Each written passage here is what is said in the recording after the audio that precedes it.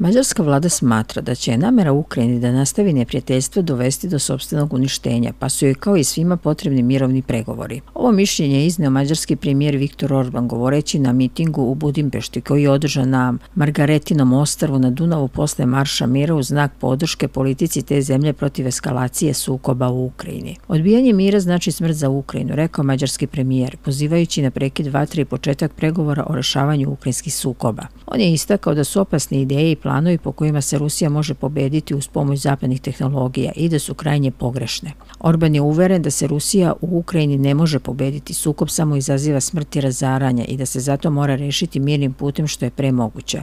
Pouzdano znamo da tamo gde počinje rat nema spasa. Rat te obuzima, ne možeš da izbegneš, ne možeš da se sakriš od njega.